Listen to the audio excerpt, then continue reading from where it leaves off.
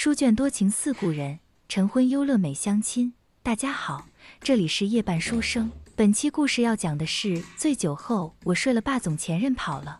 第二天上班，他竟空降成我领导，直接把公司最难项目交给我。对接人还是圈内著名咸猪手，他冷嘲我不是最喜欢卖肉换钱。下秒我拿出一份合同，他傻了。清晨的日光透过浅色的窗帘，钻入杂乱的酒店房间内。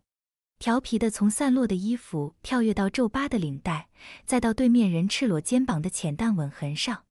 我揉了揉眉头，掩住想刀人的眼神。你先把衣服穿上。沈冠恒没答话，反而直接掀开被子站了起来，下身穿着裤子，大辣辣的露出腹肌。怎么了？我看你昨晚对我上下其手的时候，倒是很喜欢的样子。雨声带着宿醉和纵欲后的低哑与艳足。摩擦出如有实质般的颗粒感，碾得我汗毛倒竖。你少血口喷人！沈冠恒慢悠悠地套上衬衫，发现胸口处掉了两颗扣子，谴责地瞥了我一眼，将手机扔到我面前，自己看。屏幕上正播放着一段视频，画面中的我揽住他脖子，在他侧脸胡乱吻着，一只手正将他的衬衫下摆从裤腰中扯出来，口中黏糊地叫着他：“恒哥。”以你的气氛几乎冲破屏幕，连沈冠恒都别扭地咳了一声，我却坐在原地兀自出神，胸口一阵紧一阵空的，像是被一只大手反复的揉捏，逐渐溢出浓重的酸涩。其实沈冠恒比我还小半岁，但他为人刻板，性格老成，又爱管我，我便故意叫他哥来抗议，但就只叫过一次，他瞬间红了脸，严令我不许再叫。按说我是该故意和他对着干的，但唯独这件事我顺从了他，因为我把这个当做亲密和情趣，他却觉得羞耻甚至抗拒，那我也不会去自讨没趣。直到如今重逢之时，竟然无意识的再次唤出口，才知道自己从不曾真的忘记。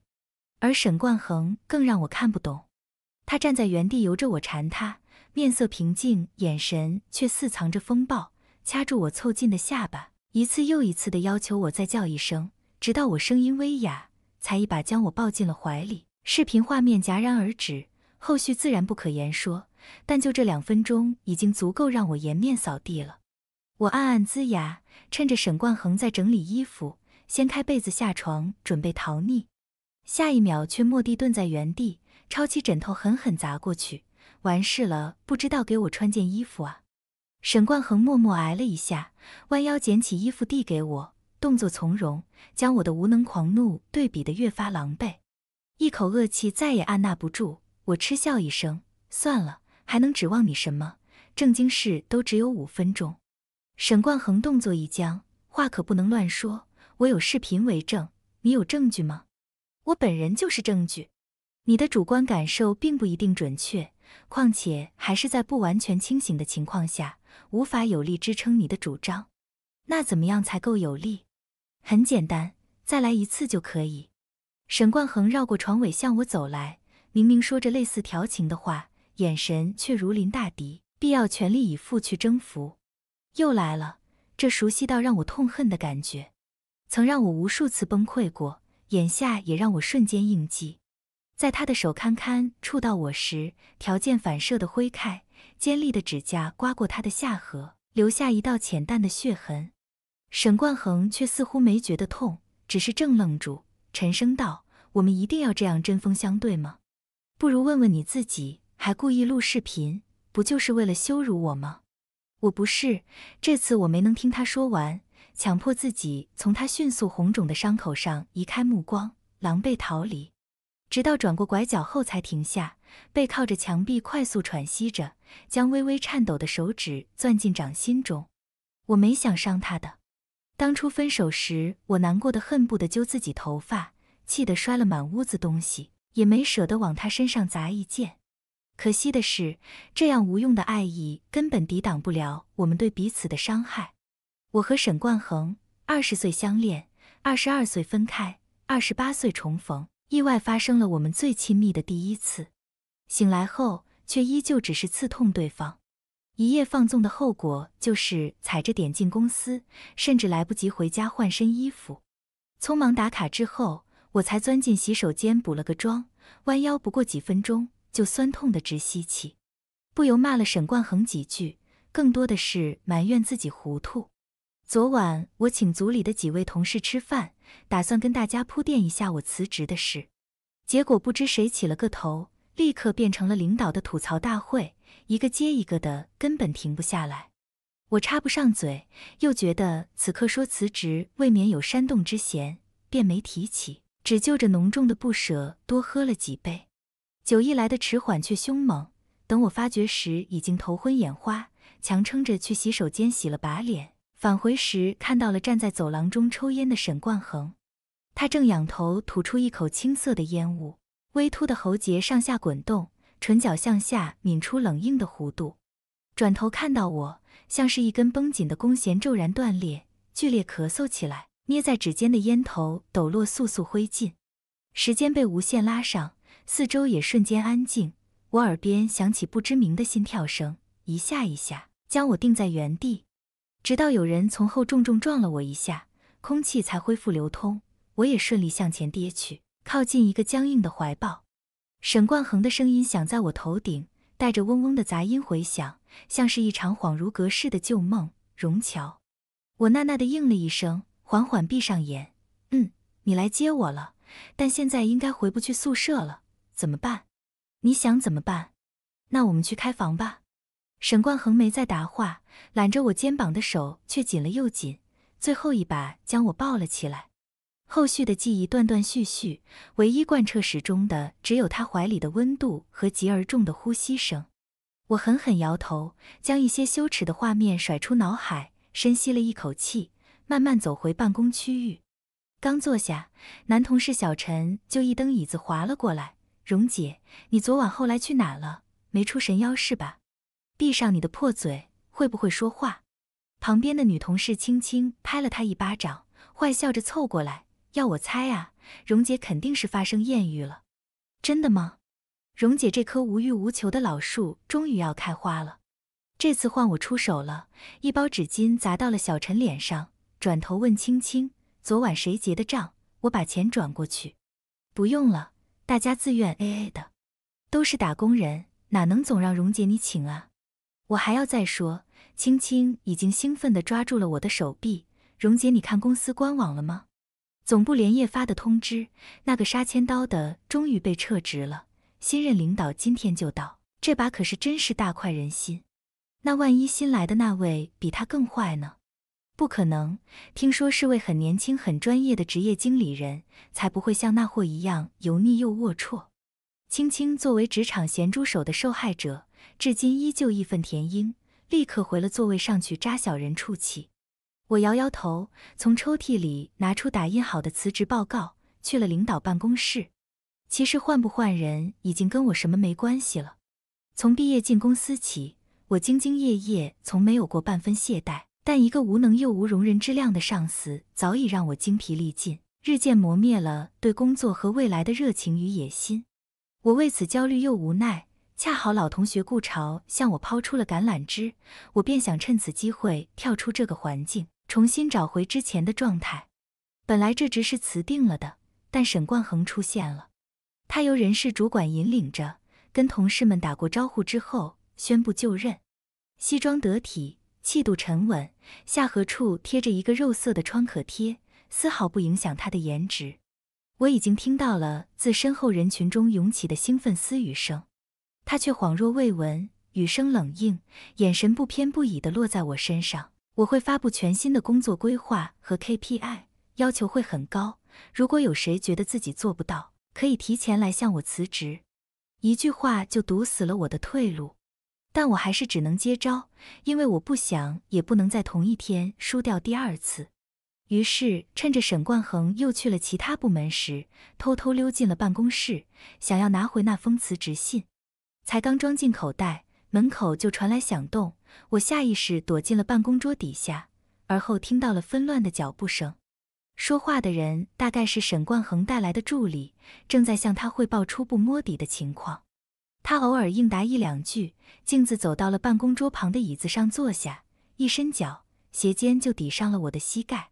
我慌忙躲避，头顶狠狠撞上了桌面，咚的一声打断了流畅的雨声。沈总，怎么了吗？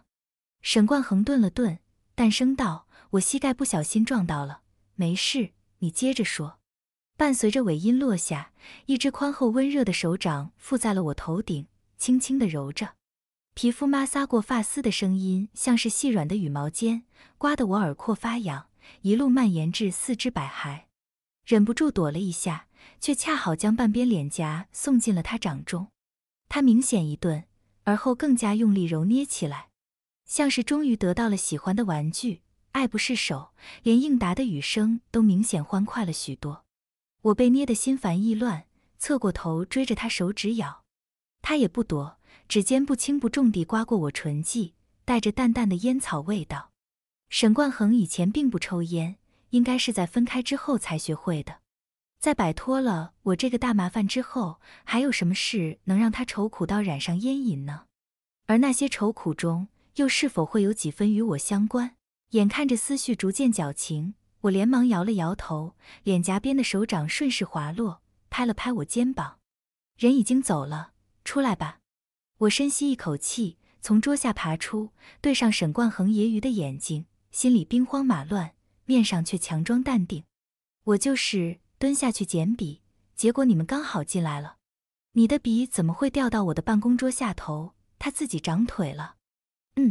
其实是我送给你的见面礼，表示热烈欢迎。我干笑着，从口袋中掏出随身带着的中性笔递过去，黑色的笔身上还清晰沾着我掌心的诗意。沈冠恒伸手接过，饶有兴致地在纸上画了几笔，才当着我的面装进了胸前的口袋中。褪色的廉价笔身与昂贵的西装十分不搭，他却像是得了精致胸花一般，眼尾蔓延出浅淡笑意。那你捡就捡，躲起来干什么？我扯扯唇角。怕被人误会，影响了你的声誉。我看你是怕影响你自己吧。沈冠恒冷了声，缓缓站起，高大的身影笼罩住我的视线。荣乔，我在你眼中就那么不堪被提起吗？还是说你其实是不敢，因为我的重新出现让你怕了？怕了吗？是沈冠恒跟我说的第一句话。大二那年暑假，我一时兴起报了个攀岩的课程班。沈冠恒也是那里的学员，技术好，长得又帅，经常有异性新生找他指导，实则都是醉翁之意不在酒。他却似乎天生少了那一根筋，有求必应，但是都点到为止，将所有明里暗里的秋波都一视同仁的挡了回去。起初我只是在旁边看热闹，后来便渐渐生出了些兴趣，暗自好奇，如果换我去示好，他是否会拿出不一样的态度来。人嘛，在年少轻狂时，总以为自己是最与众不同的那一个。加之我家境优渥，自小受尽宠爱，成长顺遂，养成了要强又骄傲的性格，不肯轻易低头，也很难做到主动，动了心却不愿意承认，又做不到洒脱的放下，最后只能选择用最笨拙但是最抢眼的方式去吸引他的注意。于是我开始刻苦加练，练体能，练路线。练速度，还偷偷模仿他的独门绝技，只不过臂力和爆发力都远不及他，急功近利的后果是一次又一次的失败掉落。我觉得丢脸，又更想证明自己，便发了狠的练，与众人悠闲消遣的氛围格格不入。有几次甚至明显感觉到了沈冠恒探究的眼神，含着不加掩饰的欣赏和隐约的胜负欲。果然，在假期结束前的最后一节课上。教练提出想看我们两个较量一次，我猜想多半是他的意思，一时间进退两难。不用他的绝技，我肯定输；用了，就算偷师。但沈冠恒没有给我过多的考虑时间，直接拿起一套装备扔到我面前。怕了吗？我自然是否认，而后只能应战。进行到一半高度时，集中出错，脚下一滑，跌了下去。按说背着安全绳是没什么危险的。沈冠恒却猛地扑过来揽了我一把，等落地后，我才发现了那块不起眼的凸起的岩石。他替我挡了一下，却没当回事，只是朝我伸出手。我们都没登顶，就当打了个平手吧。我愣愣看着他宽大的掌心，从浅淡的掌纹看到指端的薄茧，轻轻将手放了上去。被他握住的瞬间，心脏急剧收缩，触电般的战栗传过全身，不由得颤抖了一下。他以为我是吓着了，但声道：“以后别那么逞强了。你也是，没有足够的把握就别见义勇为了，小心伤到自己。这是你表达关心和感谢的方式吗？呵，还挺特别的，差点没听出来。这次我切实听出了他的讽刺，懊恼自己失了礼貌，那便不能再失了风度和原则。我真心的感谢你，但也真心的不接受基于性别和刻板印象之上的轻视。沈冠恒揉腰的手顿住。重新看向我，眼中却多了些意味不明的东西，深不见底。直到开学后，在学校里遇见时，我也还没能想明白，但已经本能的问出口：“你的腰还好吗？”与他同行的室友们哄笑出声，互相传递着暧昧的眼神。我才后知后觉出话中的歧义，不由红了脸。沈冠恒却敛下眉眼，冷淡的应了一声，快速离去，明显是不高兴了。我却不知道是因为什么。后来他才说，他不喜欢在大庭广众之下发生一些带有暧昧色彩的事情，包括我们在一起之后，也并没有在公开场合中表现过亲密情态，甚至我们单独相对时也十分寡淡。因为我们的恋爱并非始于互相喜欢，而是一场互不相让的较量。我划拳输了，被指定去向他表白，未免没存着试探。他也答应了。却与我言明，是因为他近期恰好有谈恋爱的计划。这个说法若是出自其他人之口，我是绝对不信的。但我曾亲眼见过他手写每日的训练计划，并且分毫不差的执行，便由不得我不信了。这也并不是什么坏习惯，但叠加上他的坦荡与直白，便让我觉得难堪又难过。我只是恰好出现在他的计划中，不具备不可替代的特殊性，也不会让他有所顾虑。于是我也说出了我的缘由，想要挽回几分面子，他却表示并不在意，且不会更改自己的决定。而我同样也不想认输，或者说，其实我是庆幸的，哪怕阴错阳差，我也确实得到了这个机会。那时的我天真又自负，以为能够靠着天长日久，靠着自己的努力与魅力得到沈冠恒的心。但事实上，我们连相处都磕磕绊绊。他不是一个柔软体贴的人，我也并不擅长包容与退让。小到约会吃什么、出行去哪玩，大到学术观点和人生态度，我们都存在或大或小的分歧。会沟通，会探讨，也会争吵，但从来都没有结果，因为我们各自固执己见，谁都不愿意妥协。矛盾不断堆积，却得不到解决，只会损耗彼此的耐心，甚至本就不多的感情。也曾有过几个瞬间。比如暴雨突至，他将我搂进怀里时；他为我跑遍半个城市去寻一本外文书时；又或者是背着我走过很冷很长的的雪夜时，我认为他可能是喜欢上了我的。那些当下做那些事，他的快乐是真实的，但他不愿意为了我而改变，也是事实。说到底，他还是更喜欢自己，我也一样。我也曾扪心自问。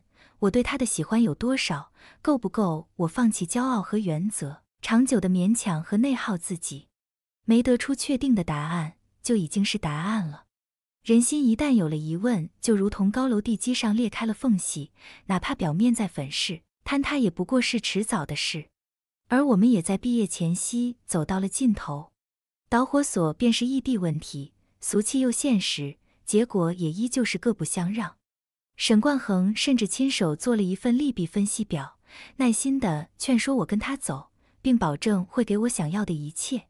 我也曾短暂的动摇过，但日积月累的疲惫和可以预见的矛盾让我心生恐惧，怕最终只剩下彼此怨恨，那还不如就此止步。分手是我提的，沈冠恒像是难以置信，又像是早有预料，更多的却是无力与不解。问我原因，我说不清楚具体的某一个，但又无比明确的知道我们之间的问题。太过相像的两个人，就像是两面镜子，就算靠得再近，也看不见彼此。我们都没错，只是不适合。顾朝打来电话时，我正在天台吹风，试图让自己混乱的心绪平静下来。沈冠恒自大无礼的质问直抵我内心的沉疴，就此牵扯出了许多早已被刻意遗忘的痛楚。是怕吗？我不确定，但我确实是在逃避，甚至连他到底想干什么都不敢问。分开六年，我对他并没什么怨恨，也从不愿意去考证他是否曾真的喜欢过我。我希望是没有的，那我们的结局也就没那么遗憾了。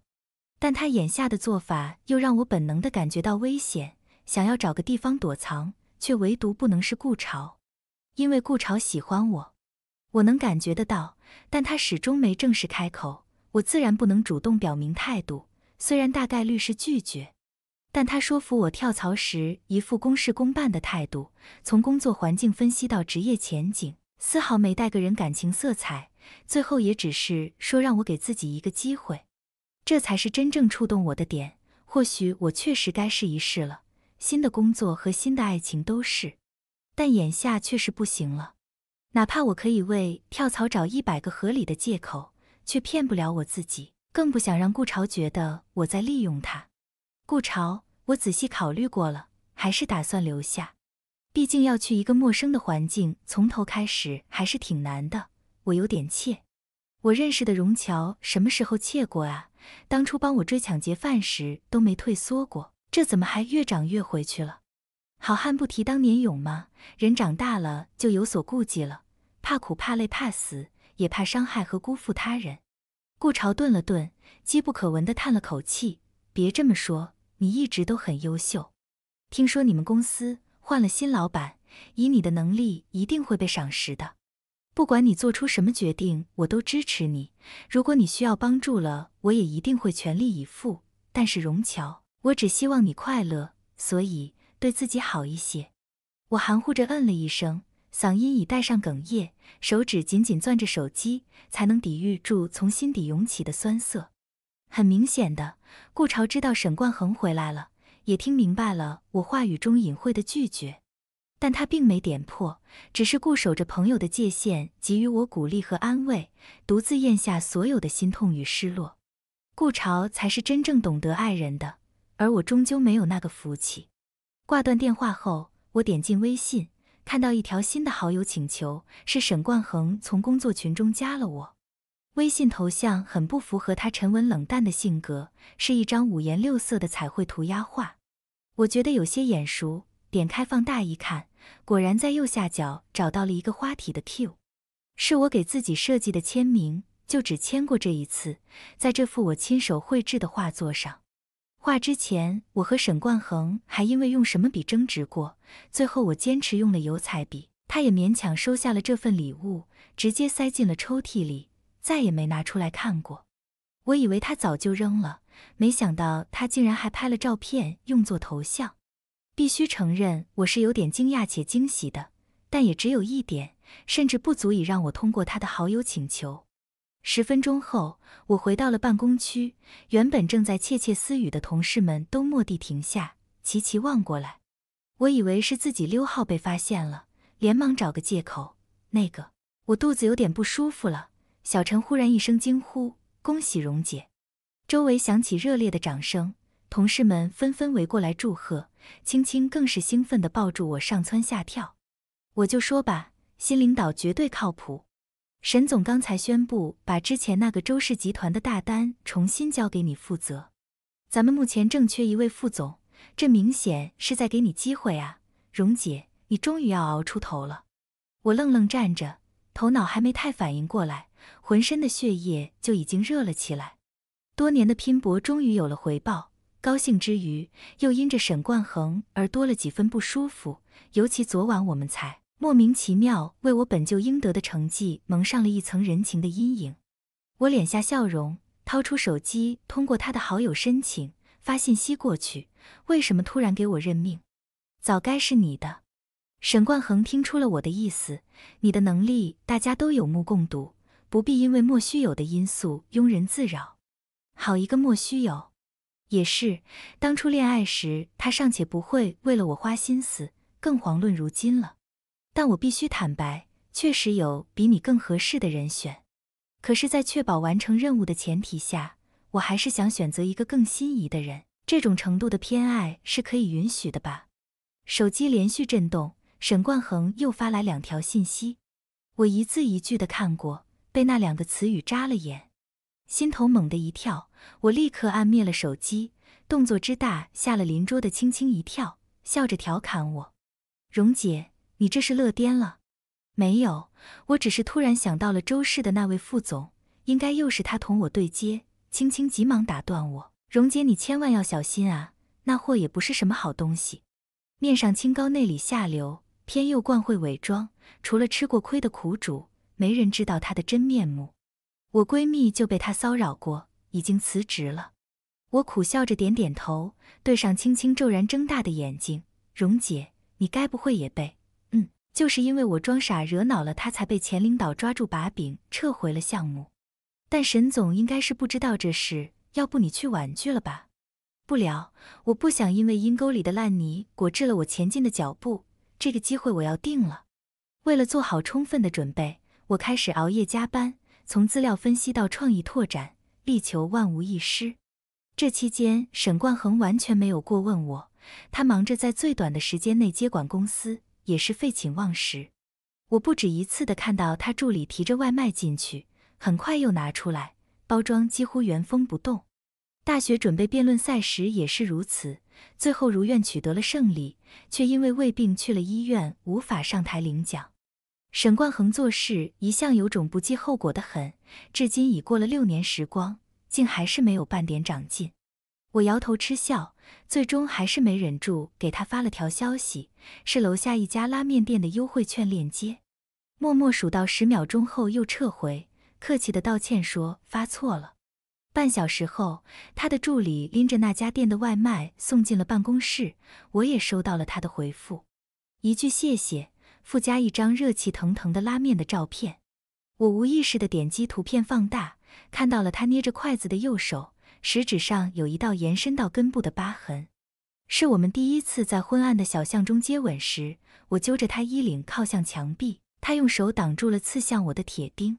意乱情迷，呼吸交缠。等我察觉到颈侧的黏腻时，他已经满手鲜血，几乎染红了我的眼睛。我吓得够呛，质问他为什么不拉着我躲开，或者及时停下。他却只是笑，说他那一刻只想吻我，便就那么做了。后来的我每每想起沈冠恒时，总记得他血液的温度，时至今日，依旧让我隔着屏幕都觉得痛。我收回抹撒照片的手，抚了抚胸口，按捺住某些不可言说的心思，拿着杯子去了茶水间。有几位女同事正小声聊着八卦，多次提到了沈冠恒的名字，与另一个名字一起。贺晴，公司董事长的千金，虽未见过，却早有耳闻，是位聪慧果敢又美貌的野心家。这样的人竟然喜欢沈冠恒吗？眼光可不怎么好。我无声笑笑，端起水杯离开。滚烫的开水滴落到手背上，短暂的灼痛了皮肤，胸口处却有什么东西。蓦地凉了下去。晚上十点半，我终于完成了所有的收尾工作。沈冠恒突然走了进来：“我送你。”原本我是想拒绝的，但又怕他是想询问项目进展，只好答应了。但车才开出去五分钟，我就后悔了，太尴尬了。前男友、一夜情对象、新上司，不同身份叠加出无限伤害，让我连手指都僵硬了。关于那晚的亲密。我们默契的都没提起，不用纠集旧情，也不用对彼此负责，这是最好的结果。但我心里却莫名的很不舒服，不是非得要一个什么说法，只是觉得沈冠恒的嘴是真金贵啊，一句都不愿意多说。走神间被问到家里的地址，我随口一答，等到车停到了楼下，才暗悔自己大意了。沈冠恒仰头看着我家的楼层，凌厉在下颌线，在月色中多了几分温柔。坐北朝南，大窗户，两居室，果然是你喜欢的户型。我也跟着看去，痒得后颈发酸，连带心口也一阵阵涩痛。恋爱时，我们也曾憧憬过未来，首先就是一个属于我们自己的小家。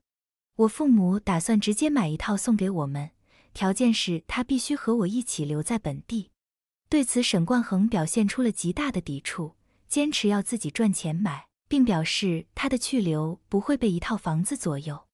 我们为此商量过，争执过，冷战过，最终还是无解。而我也终于明白，沈冠恒永远不会为了我妥协。两年前，我第一次跟着中介走进这间房子，过去的记忆翻涌着刺痛我，我却还是签下了合同。一个人跑装修、买家具、布置、打扫，生活像是圆了从前的一场梦，醒来又空空荡荡。偶尔也会猜想，沈冠恒有没有靠着自己的拼搏买了属于自己的房子，里头又住着谁？直到此刻，他和我并肩站在楼下，我又没了探究的欲望，只是淡笑，比理想的还少了个露台，但我买不起，也就只能这么凑合了。沈冠恒动了动，右手揣进裤子口袋，转头看向我。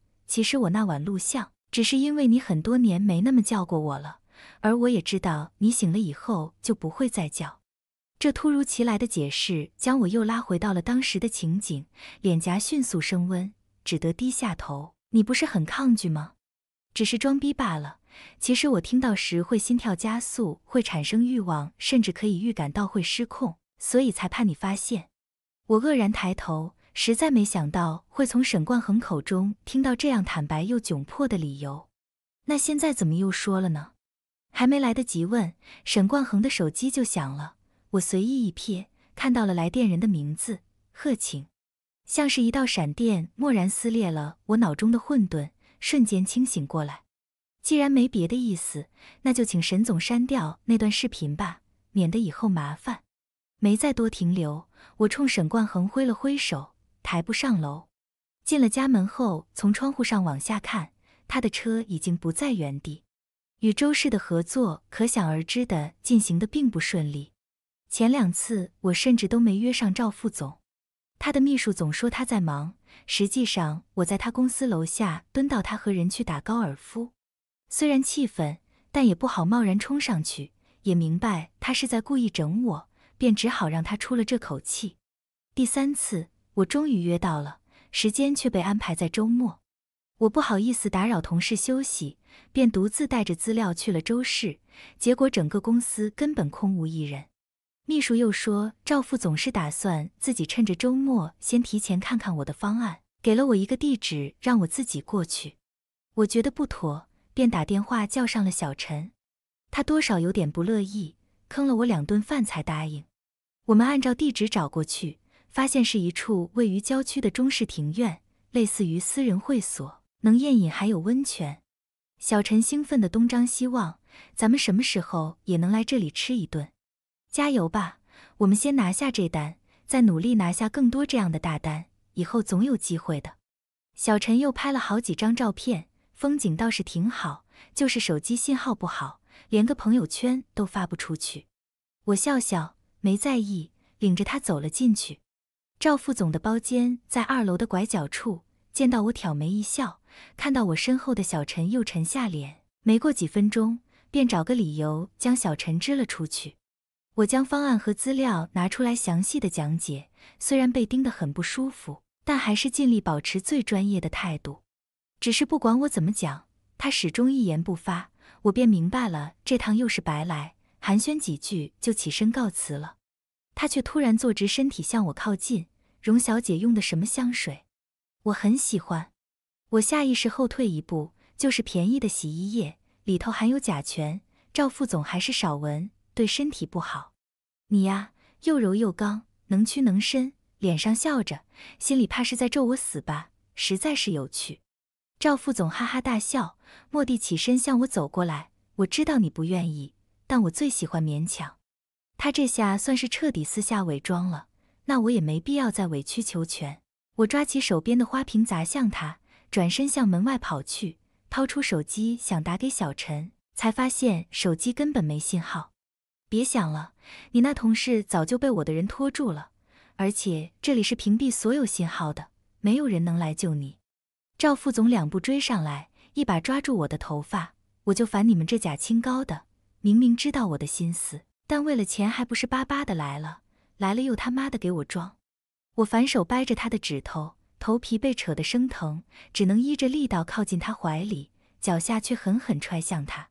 他闷哼一声，手上更用力，揽着我按倒在床上，开始撕扯我的衣服。我拼命挣扎，嘶声喊救命，又想起这处的私密性和档次，隔音一定是极好的。力气渐渐流失，绝望从心底蔓延到四肢百骸，更多的是不甘和不忿。我只是想完成本职工作，却成了爱钱；只是想再争取一次，却变成了欲擒故纵。凭什么？他这样的畜生，凭什么随便定义和践踏别人？又凭什么无法无天的伤害无辜的人？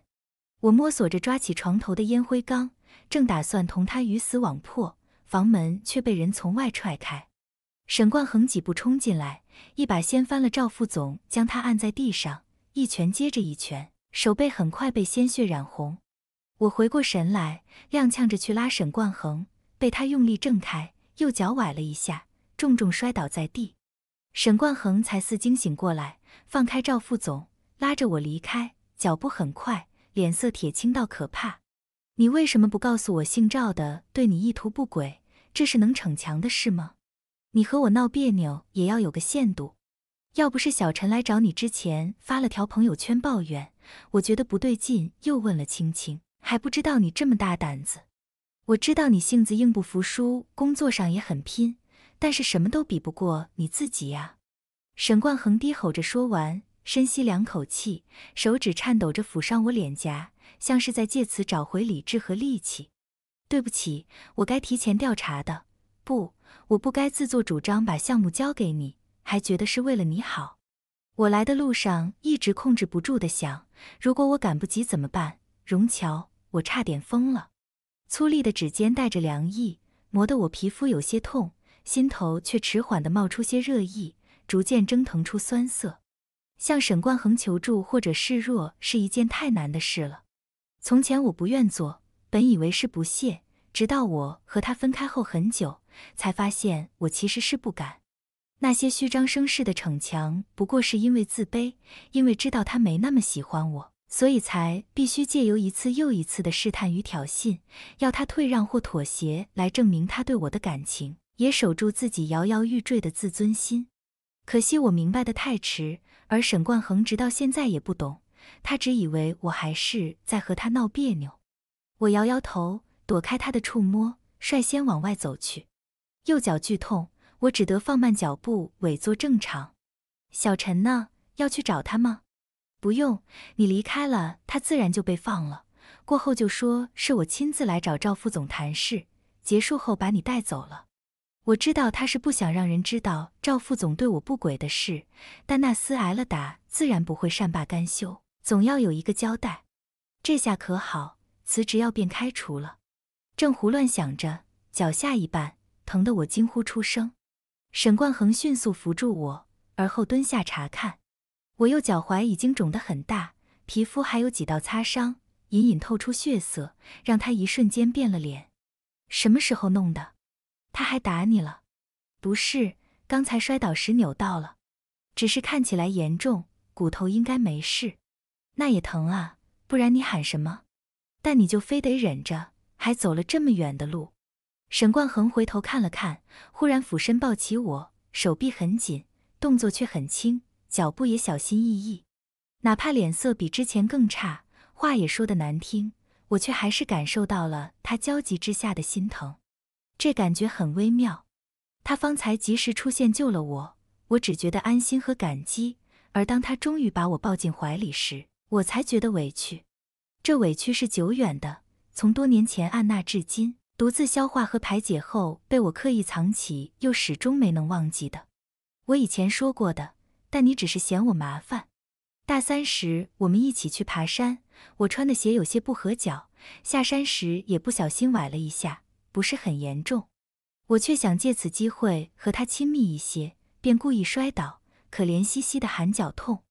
沈冠恒仔细查看了一番，先是指出了我鞋子的问题，说我不专业，又说我只顾着拍照，不注意脚下是很危险的行为，最后把我扔在原地，独自去了前头。许久之后返回，手里拿着不知道从哪里借来的登山鞋，但我却拒绝了。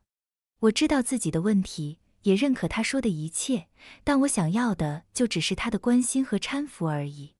哪怕他后来也这样做了，但错过了那个当下，我就已经不需要了。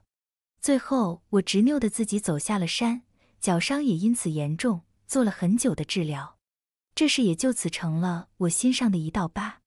此时再提起，却发现那痛早已在岁月流逝中，随着我不断改变的心境和认知而变淡了。沈冠恒将我放在副驾驶座椅上，俯身给我系上安全带，退开时在我额头上落下一个吻。对不起，我欠你一句道歉。我从来没觉得你麻烦，但我也确实看出了你的故意，才想着借机敲打你一下。不管你想要达成什么目的，都不该以你自身的安危开玩笑。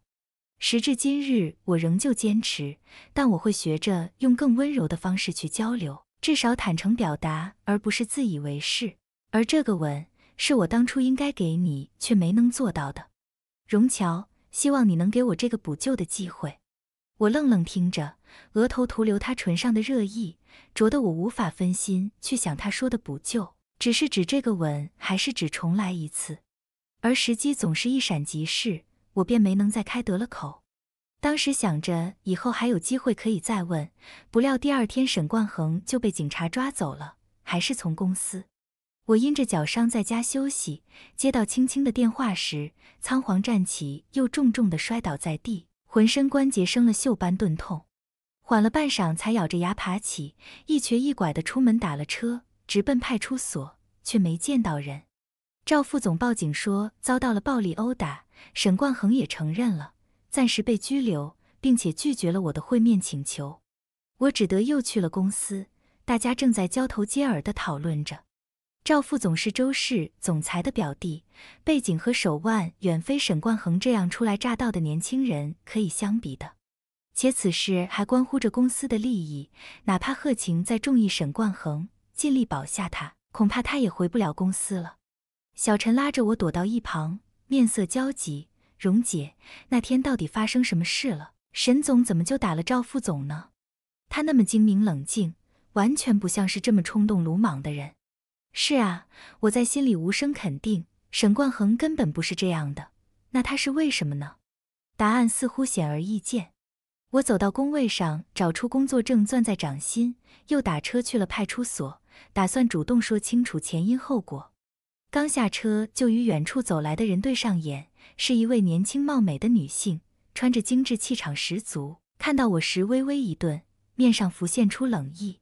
几乎是瞬间，我就确定这是贺晴。果然，她快步走到我面前，简单的自我介绍后，准确的叫出了我的名字，命令我不许参与沈冠恒的案子。赵副总那人最要面子，如果他只是被打，我还有把握可以和解；但如果被曝光了他是性侵未遂而被打，他受到惩罚的同时，你和沈冠恒也都轻松不了。那沈冠恒的清白呢？他明明是出于正义，却要背上一个恶意伤人的案底吗？清白，你说的倒是好听，但他是因为谁呢？如果你还有点良心，就别给他惹麻烦了。按照我说的做，只有我能捞他出来。贺晴雨寒嘲讽，我却无心在意，只是被他最后那句话狠狠刺痛。最终只能站在原地，眼睁睁看着他走进派出所，或许也将这样走进沈冠恒未来的人生。我沉默地站着，直到暮色将我笼罩，双腿都麻木到没知觉了，才转身离开。终于明白了什么叫做宿命，就如我和沈冠恒，在最不合适的时间遇到彼此，只能无疾而终；在长久的不忘中重逢，最终又被现实所阻隔。而我只是一次又一次的被证明与沈冠恒有缘无分。那天之后，我没再见过沈冠恒。贺晴不知道用了什么方法让赵副总同意和解，后续是道歉还是赔偿，我也不了解。但沈冠恒确实很快就出来了，只是没再来公司，也没跟我联系过。他的个人物品由助理收拾好后带走了，而我则搬进了他的办公室，升职为副总。暂代总经理职务，对此我也是一头雾水。任命是贺晴亲自下达的，拿着周氏总裁亲自签字的合作案，将功劳安在了我身上。除此之外，他没跟我透露任何关于沈冠恒的消息。我也识趣的没有问他，却反而像是不满一般，瞪了我好几眼，活像唾弃一个薄情寡义的小人。那之后，贺晴也没再出现过。虽然他以前也是只闻其名，如今却渐渐连消息都没了。取而代之的是董事长流落在外的私生子，短时间内崭露头角，却没继承到董事长的睿智和贺晴的灵活，只有众穷人乍富的猖狂与浮躁。手伸得很长，但能力又不够，反而把正常秩序搞得一团糟。连我也被他叫去骂过两次，但他甚至连我的工作总结都看不懂。公司众人一时议论纷纷，有说董事长身体不大行了，只好赶鸭子上架；也有说贺晴是斗输了，被放逐了，带着沈冠恒另起炉灶了。直到我再次听到那个名字，才恍然惊觉，时间已经过去了快一个月。沈冠恒的微信始终沉寂。朋友圈也没更新，而我也不知道其他可以得知他动向的方式。时间把我们隔开了太久，而我又太骄傲。哪怕如今我愿意主动去找他，也已经不得其法，更没了合适的身份，便只能不打扰。起初我没觉得如何，六年都过来了，不过短暂相见的几面，又能掀起多大波澜？但在我连续几夜梦到了他还生生哭醒后，才不得不承认，我很想再见他一面，哪怕只是说声谢谢，又或者是对不起。说起来，我何尝没伤害过他呢？两只刺猬争斗，刺痛的绝对不只是一方，而我还自私的将所有过错甩给了他，逼他拔掉了身上的刺。每每想起他那天说着对不起的样子，我胸口就抽痛不已。哪怕他后悔帮了我，哪怕他选择了贺晴，我也还是想要一个面对面的告别，而后再也不亏不欠。这样的执念反复折磨着我，加之工作压力又大，我开始失眠，彻夜翻看与沈冠恒的聊天记录，试图从只言片语中找出关于眷恋的蛛丝马迹。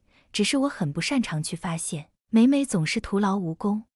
直到我在深夜接到那个陌生号码的来电，一声浅浅的呼吸就让我瞬间落泪。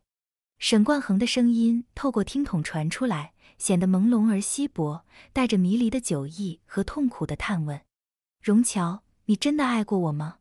我起初以为你的表白只是玩闹，但我还是答应了，因为我喜欢你。从第一次和你比赛开始，你落在我怀中，像一颗星星。眼里满是坚毅，对我说不接受基于性别的轻视。我记住了，也一直秉持着，不在任何事情上给你造成被弱化的错觉。但你却越来越不开心。很久之后，我才明白，尊重和心疼与宠溺都不冲突。你可以是强大的，但也可以被我捧在手心里。只可惜那时我早已弄丢了你。我试着改变，也期待与你的重逢。但我忘了考虑你是否也同我一样，又或者我不需要你做什么，只要你再给我一次机会，接纳全新的我。但你似乎确实没有这样的意思，你不会找我，不会想我，也没有再像从前那样看过我。雨声减弱，呼吸趋于平稳，沈冠恒竟然就这么睡着了，贱货还发出模糊的抽泣声。我就那么听着，直到他手机没电，自动关机了。我才缓缓看向窗外，眼睛被泪一泡的酸涩，盘踞在心头多日的阴霾却被明亮天光彻底驱散。原来沈冠恒爱我，那便没有什么事能够阻隔我们。如果有，我就努力冲过去。我给顾朝打去电话，请我帮我查一下贺晴的住址。他很快回过来，还顺带提起了他和沈冠恒之间的传闻。他一向不屑背后说人。大概是真的担心我，我只笑着让他放心，其实心里不是不忐忑的。贺晴看上去是个劲敌，仔细想来又觉得哪里不对劲，但我不愿再胡思乱想，打算直接找上门去问个清楚。贺晴对于我的到来并不意外，只是她盛装打扮急着出门，只是塞给我一个地址。沈冠恒真是没用，我明明都教了他要钓一钓你，结果他。他还是舍不得你难受。我和沈冠恒没什么的，我是为了和那个私生子争夺公司的股份，才故意放出绯闻，让对方以为抓到了我的软肋，又利用沈冠恒打周副总的事开除了他，自断双臂，让对方放松警惕，才能在这么多天内暗中实施自己的计划，直到今天终于收网。而沈冠恒答应帮我的条件，就是要给你升职，给你应得的肯定和职业发展空间。他比任何人都欣赏你，相信你，并且愿意陪伴你。如果你今天没有找来，我才不会对你说这些。我是沈冠恒的朋友，我只向着他，也只看得到他的痛苦与努力。但是爱情不能光靠一个人，就算他走了九十九步，你不愿意迈出走向他的那一步，也是没有结果。言尽于此，你自己去他家看看就知道了。后来我甚至想不起我是怎么一路到达沈冠恒家的，又是怀着怎样的心情，满腔的感动。愧疚、心疼与思念交织成一片，在我仰头看向那扇窗户时，蓦地汇聚成了热流，自我眼中流出。与我家相差无几的户型，坐北朝南，大窗户，两居室，还有一个朝阳的露台，完全是我曾经描述过的样子，连露台上摆放的栀子花都分毫不差。胸口沸腾着，像有一团火在烧，直到沈冠恒打开门，我扑进他怀里。才慢慢温柔下来。沈冠恒，我很喜欢你家，可以让我住在这里吗？沈冠恒略微僵了僵，收紧手臂，将我扣在怀里，右手又伸进裤子口袋中，这次掏出了一把钥匙。我一直都随身装着，感谢你让我有机会把它交到你手上，连同我们彼此的信任与未来也一并找到了归宿。年轻的我们愚蠢、自我，不懂得爱人。所以质疑过也离散过，却不曾有一刻不爱对方。于是我们反省、改变，努力成为更好的自己，只为了给对方更好的爱与陪伴。重逢正是好时节，一切都是最好的安排。前几天婆婆打电话喊我们一家今天去郊外采摘园聚餐，我不想去，而且今天女儿琪琪也有点不舒服，就只有李瑞一个人去了。李瑞临出门前还在责怪我小心眼不变通，这正是修复关系的好机会，我却不知道好好把握。想起这，我心里就不舒服。原本公公是有一辆小轿车的，可是婆婆却说他们想退休之后去自驾游，想换一辆 SUV 越野车，但他们钱不够，就想找我们借一点。可是我们家自从琪琪出生之后，自己都自顾不暇了，哪还有多余的钱借给他们换车？于是我当场就说了，没钱借给他们。公公黑着脸就走了。李瑞还责怪我说话太过分了。后来也不知道公公从哪里弄到的钱换了车，说今天要带亲友去郊外聚餐。我心里正想着公公的钱是从哪里来的，琪琪就醒了。本来早上开始琪琪就有点不舒服，这会儿睡醒了之后又开始哭闹个不停。我想打电话叫。李瑞回来带我们一起带琪琪去看医生，可是打了好几个也没人接，我只好打电话给我妈，请她过来和我一起带琪琪去医院。就在我们准备出门去医院的时候，电话响了，是李瑞打来的。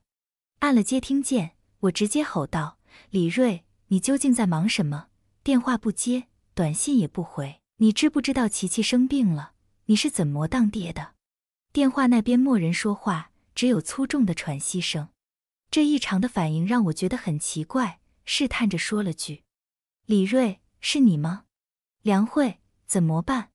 我爸出事了，他开车把人给撞了。”李瑞带着哭腔说，他的话让我的脑子出现了短路，一时间没缓过神来。你说什么？我又问了一句。爸今天中午喝了点酒。刚开车回家拿东西，结果在路上把一个孕妇给撞了，人在加护病房，医院下了好几次病危通知了。李瑞这会儿把事情完整的说了一遍，挂了电话，我心里也乱了。酒驾、孕妇、ICU 这几个字在我的脑海里不断闪现，把这几个词串联在一起的严重性不言而喻。我强装镇定的把琪琪交给我妈，让她和我爸带琪琪去看医生。我咬牙钻进了出租车，开车门的时候，我的手都在颤抖。等赶到医院的时候，我看见了李瑞。才几个小时不见，李瑞变得颓废又落魄，嘴唇上全是死皮，眼里全是无助。李瑞，爸现在情况怎么样了？我拉住他的手问。爸的状况还好，刚刚已经做了手术了。可是那个孕妇刚才人没了。李瑞说完这句话，用力地扯了扯头发。他的话像是一记重拳，狠狠地砸在我的心上。这可是一尸两命，真的是造孽啊！而且这件事的后续肯定也是个大问题。到了公公的病房，她因为虚弱正在昏睡。婆婆一看到我，眼泪就流了下来。小慧，现在只有你们能救你爸了，你们可不能不管他呀。婆婆的声音里透着凄凉，单薄的身体抖得像寒风中的枯叶。妈，您这是说的什么话？咱们是一家人，肯定是要相互扶持的。再说爸的手术很成功，他已经脱离了生命危险，你不要太担心。我回握着婆婆的手，细声安慰地说：“我自然不是担心这个，出了这么大的事情，肯定要赔钱。可是我和你爸的条件你也知道，所以这个钱得你们想想办法。”婆婆皱着眉头说：“婆婆的话让我心头一紧，这个老太太着实是个人精，她是在给我打预防针，告诉我赔偿费要我们来解决。”这种事情我也不好一口回绝，可是当下的情况还是要跟婆婆说清楚。妈爸，这个事情不是用钱就能解决的问题，关键还要看对方亲属的态度。另外，我听小瑞说，爸爸属于酒驾，所以可能不光需要赔偿。我话还没说完，婆婆就瞬间从林黛玉变成了王熙凤，瞪着眼睛厉声道：“梁慧，你这话是什么意思？”难道你想眼睁睁地看着你爸吃牢饭吗？天地良心，我可没这个意思。我刚准备为自己辩解，就听到公公艰难的咳嗽声。李瑞皱着眉头，压低声音说：“你们都闭嘴，这里是医院，要吵出去吵。”我也懒得辩解什么了。看着公公现在躺在病床上，婆婆还一副恶狠狠要吃人的样子，我只想说咎由自取。只是可怜了那名孕妇和她未出世的孩子。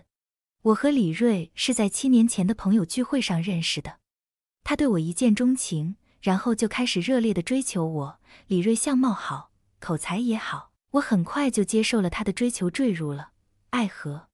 经过六个月的相处，我们确定对方就是我们想要相守一辈子的人。李瑞就带我去见了他的父母，他们给我第一的感觉是很有品位。公婆的穿着很时尚，吃东西也很讲究。更有趣的是，他们还带我去唱歌、泡温泉。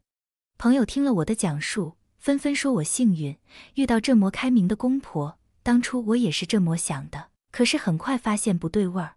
当初卖婚房的时候，我爸妈的意思是李家出首付，我家负责装修，然后由我们共同偿还贷款，房子写我们两个人的名字。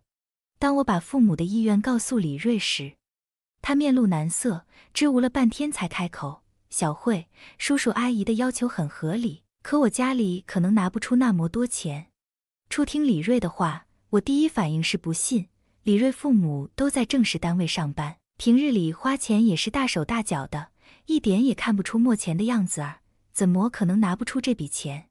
李瑞，是不是你爸妈不同意咱们俩的事？这是我能想到的唯一原因。你怎么会这么想呢？李瑞瞪大了眼睛，我爸妈特别喜欢你，他们恨不得我今天就把你娶回家。你少蒙我，他们既然喜欢我，那为什么不愿意交房子的首付？我眯着眼睛问，宝贝，我家里是真的拿不出这笔钱，你看这样好不好？首付让你家也象徵性的拿一些，然后装修的时候再想办法。李瑞讨好的说，他的话让我很窝火。结婚又不是买高丽菜萝卜还杀价，于是我跟他说：“可以呀，等你家存够了首付，咱们再结婚吧，毕竟咱们还小呢。”说完这句话，我扬长而去。李瑞看我生气了，不停的给我道歉，百般讨好我，可是我根本不给他任何表现的机会。我们就这样僵持了一个多月，最终李瑞败下阵来，带着礼物亲自来家里道歉。还将一张三十万的卡片交到我的手中，说我拜金也好，说我有心机也罢，我的工作是房产销售，在售楼处工作的这几年，我看到了太多的人情冷暖和买房时的勾心斗角。我知道口头支票最不可信的，只有落实的才最能让人安心。房子总算买了下来，因为房子还没交工，李瑞提议婚后先暂住在公婆家。我担心在一起住久了会产生矛盾，就提议搬出去住。买房子、聘金还有婚礼，我实在拿不出余钱租房子了。李瑞窘迫地说：“我有办法。”我拉着李瑞的手出了门。这是你的房子？李瑞看着眼前的两房，惊讶的开口。我有些骄傲的点了点头，甚至做好了接受他的赞美。可惜，我想错了。李瑞没有丝毫的欣喜之色，脸上的愁容更加深。沉默了几秒后，试探着问：“那我们以后买房子怎么办？每个月要付两份房贷吗？”这房子是我全额买的。我有些骄傲地说。那时的自己被爱情冲昏了头脑，根本没有深究李瑞话里的深意。听到我这么说，李瑞的脸色突然转晴，一下子搂住了我，在我的脸上狠狠地亲了两口，得意地说：“我的老婆真棒。”就这样，我和李瑞在我的房子里完成了结婚这件人生中的大事。婚后，我和公婆接触的不多，也倒是相安无事。每次去公婆家，我的心里都会小小的感慨一下，他们也太会享受生活了。公婆的衣服都有固定的牌子，两个人的三餐有严格的营养食谱，婆婆每周都会去做美容，公公也是常年去健身房。朋友圈里各种美照聚会照，他们一有时间就会去旅行。老两口是又潇洒又快乐。我现在有些明白，为什么当初他们连三十万都拿不出来了。因为快乐是建立在金钱的基础上的。婚后第三年，女儿琪琪出生，有了孩子，家里的花费多了起来。可是我工作性质的缘故，加上李瑞的职位一直停滞不前，收入一下子少了很多。我们的日子过得紧紧巴巴。公婆呢，丝毫没有顾及我们的感受，照常吃喝玩乐，从来不曾接济我们。最初，我和李瑞去他们家商量。希望婆婆能帮忙带一下琪琪。婆婆听后眉头紧锁，说：“按理说琪琪是我的孙女，理应我来带。可是我的身体不争气，不是腰疼就是腿疼，要是哪天摔了，孩子就糟了。”婆婆的话把我气得浑身颤抖。我咬牙切齿地对李瑞说：“你妈跳广场舞时就能健步如飞，一看孙女就不行了，她就是戏精。”李瑞自知理亏。只能低头做鸵鸟。后来我妈见我辛苦，主动请缨帮我带孩子，我们的生活才渐渐有了起色。我虽然嘴上不说，但心里对公婆的冷血很是不满。当琪琪两岁生日时，公婆突然变得热情起来，不仅为孩子订了饭店庆生，还送了很贵重的礼物。他们突如其来的示好让我心惊肉跳。果不其然，不到一周的时间，公公就登堂入室。他们来的理由很简单，要钱。公公说他和婆婆还有两年就要退休了，退休后想去各地自驾游，所以想买一辆车，可是手上的余钱不够。爸，您不是有车吗？我有些不悦地问。我的车是轿车，已经开了很多年了。自驾游是需要开 SUV 的，舒适度高，安全性能也好。我已经看好了一款，落地不到四十万。公公说的振振有词，而我只想到了一句话：“猪鼻子里插葱装象。”还差多少钱？李瑞问了一嘴。还差二十万。我寻思跟你们俩借借。公公大言不惭地说。我差点被他的话气笑了。给我们借？他怎么好意思？当初我有难处时，他们做缩头乌龟的画面还历历在目，现在竟然好意思开这个口。爸，真的对不起。我们没钱，没有丝毫的含糊，我直截了当的拒绝了他。公公的脸色霎时变得铁青，看了我一眼，随后怒气冲冲的盯着李瑞。李瑞担心公公现场发飙，伸手扯了扯我的胳膊，不停的冲我使眼色。爸，不是我不想给，是真的没有。这几年我和小瑞的情况什么样，你和妈是看在眼里的，自顾不暇。如果您真的想买车，不如降一个档次，我们真的是爱莫能助。我用力甩开李瑞的手，一吐未快。公公张了张嘴巴，终究莫说什么，摔门而去。公公前脚刚走，李瑞就开始找茬：“梁慧，你怎么能这么跟爸说话呢？你没看到他生气了吗？”“看到了，不过我说的不是事实吗？”我反驳道：“那段日子我是怎么熬过来，你应该看到了吧？”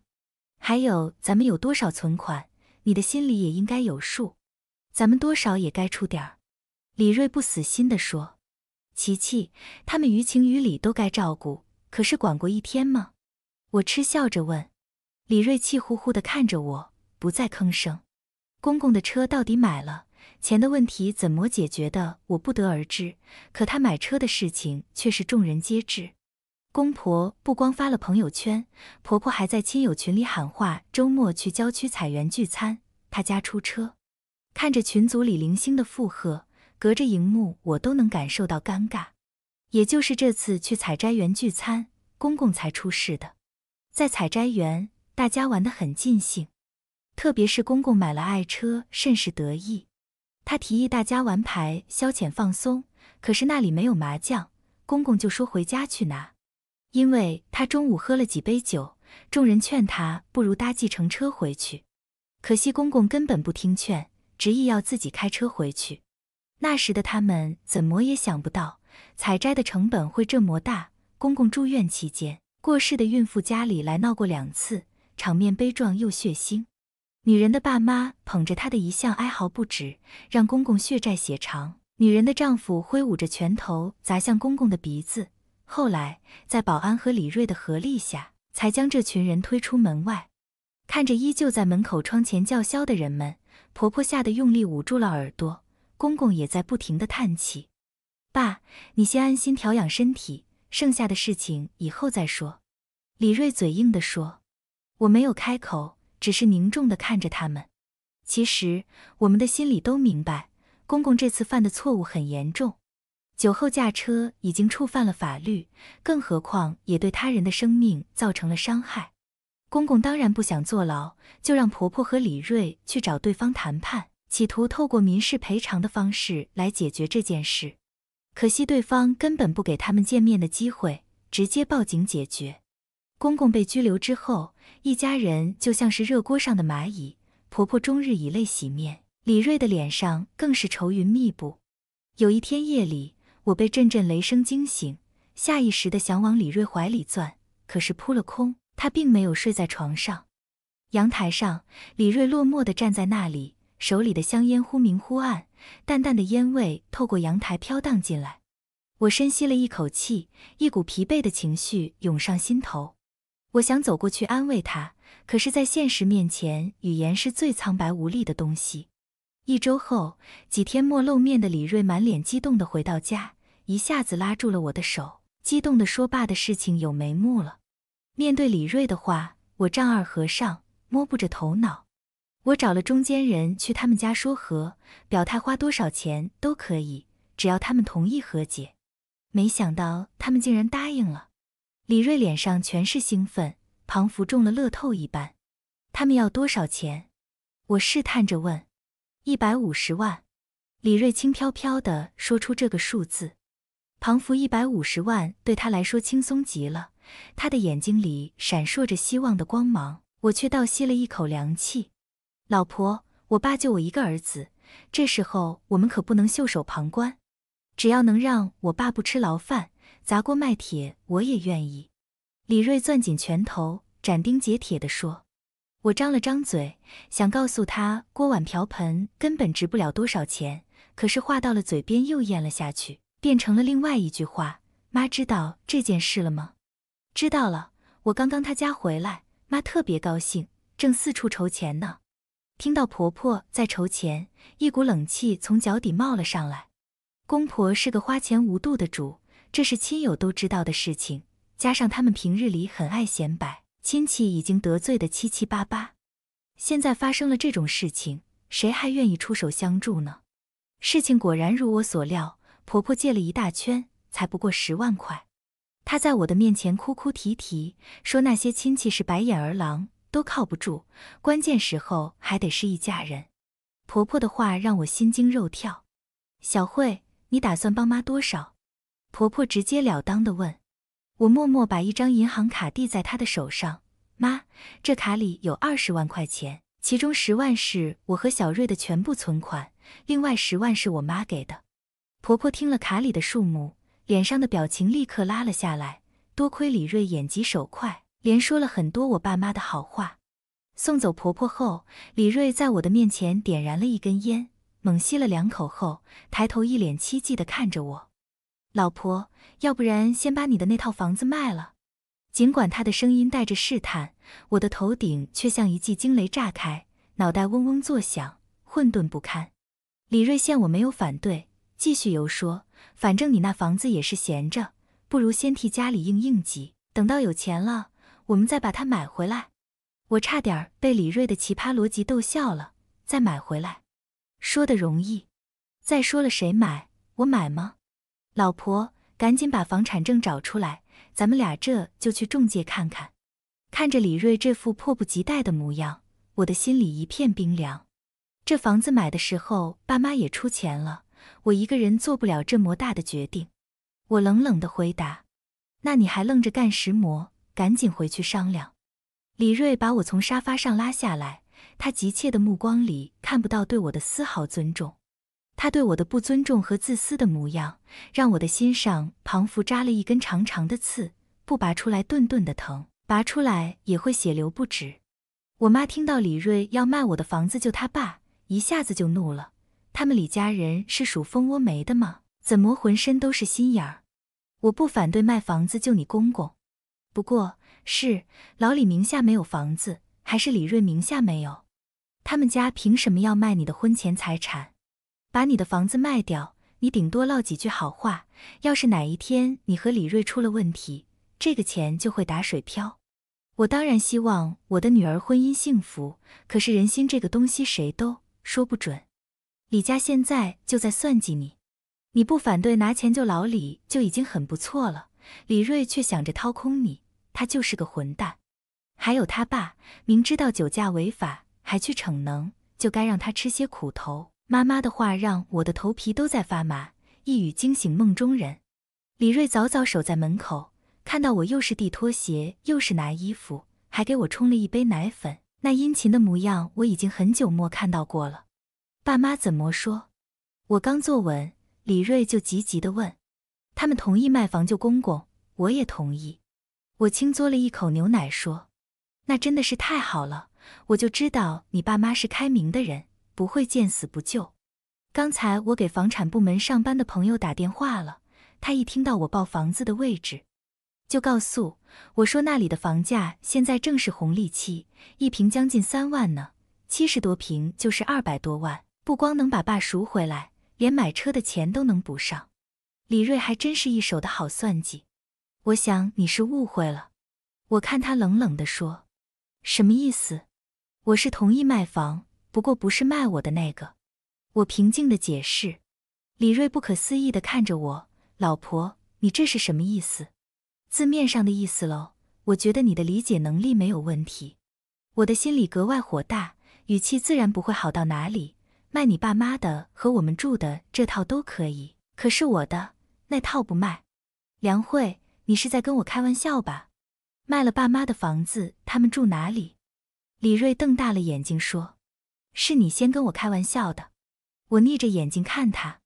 假设卖你父母的房子，你可以把他们接到家里住；如果卖我们住的房子，我们就搬去他们家。你要是实在不愿意卖房子也可以，咱们贷款赎你爸。李瑞眉头皱成川字，贷款多不合算，还得还那么多利息，不多划算。把你的房子卖了是当下最好的解决办法。梁慧，你不会这么无情吧？李。瑞气急败坏地说：“我无情，李瑞，我看是你自私才对。那房子是我的婚前财产，承载了我爸妈对我的爱。你凭什么三言两语就决定他的去留？爸是我公公，我我应该不遗余力的帮他。可是凡事也有个度吧。如果你家没房子，我不同意卖这个房子，那才是我不近人情。我咬着嘴唇，丝毫不肯让步。”梁慧，你真的太让我失望了。你忘了我爸妈对你的好了吗？你这叫落井下石。李瑞火了，气得在原地上来回打转，一双眼睛在冒火，分分钟把我烧成灰烬的节奏。随你怎么说，要卖就卖这套或你妈住的那套，卖我的房子就是不行。我梗着脖子回呛他，不卖怎么行？难道你就眼睁睁的看着爸去坐牢，妈哭瞎了眼睛吗？你怎么这么心狠？李瑞生气地冲我吼着：“你不心狠，怎么舍不得卖？”我指着眼前的房子，李瑞瞬间涨红了脸，开始疯狂地指责我。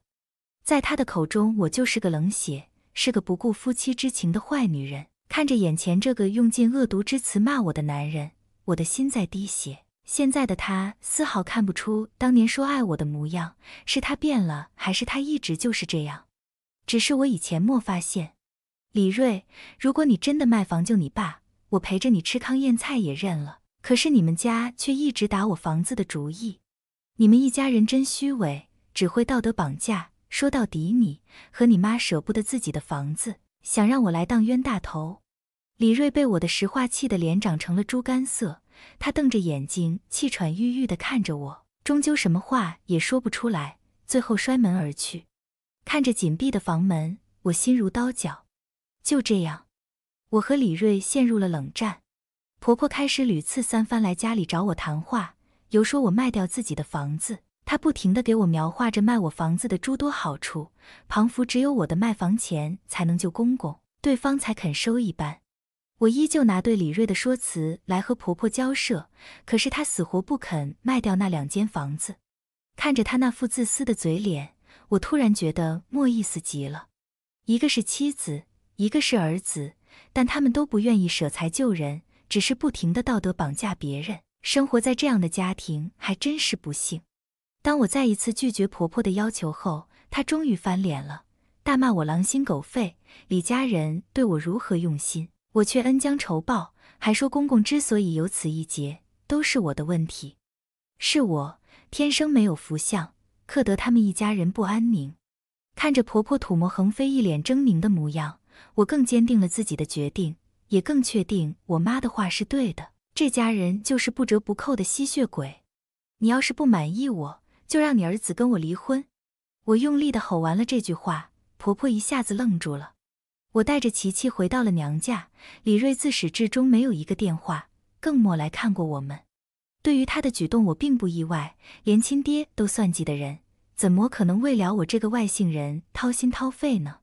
经过了证据调查。调解四个月后，检察院以公公犯过失致人死亡罪向法院提起公诉，最后被判处有期徒刑八年。判决结果出来后，婆婆带人来我娘家闹事，被我爸妈狠狠地修理了一番。婆婆气不过，开始四处宣扬，说我是个白眼儿郎。公公出事后，我害怕承担责任，拍拍屁股走人。李瑞更是说我的不是。他们还在亲友群大肆宣传，让一些不了解真相的人讨伐我。看着他们恶心的嘴脸，我直接把跟他们的通话录音传了上去。我倒要看看人们的三观是否跑偏。做完了这些，我以李瑞婚内出轨为由，向他提出了离婚。李瑞听到这个理由疯了，说怒斥我胡说八道。我也希望我是在胡说八道。尽管在卖房子救公公一事上，我看清了他们一家人的嘴脸，可是我从没想过离婚，因为我不想琪琪在单亲家庭长大。那天我正在想有没有办法可以帮公公减轻一点罪责，于是我就去公公的车里查看行车记录仪，没想到行车记录仪里面发现了李瑞和一名女子相处亲密的视频。第一看看到的时候，我不敢相信。我骗自己，可能是车上人太多，拥挤之下两人才这么亲密的。可是我心里既然已经埋下了怀疑的种子，我总归要去求证了，心里才踏实。于是我找私家侦探帮我跟踪李瑞。就在他提出要我卖房子之前的那几天，他就是和那个女人在一起。也就是说，要我卖房子救公公的主意，就是他们俩想出来的。估计那时候李瑞想到就是卖了我的房子，把公公救出来，然后他再和我离婚，他一点损失都没有，而我却什么都没有了。他们还真是恶毒啊！可惜我也不是任人拿捏的软柿子。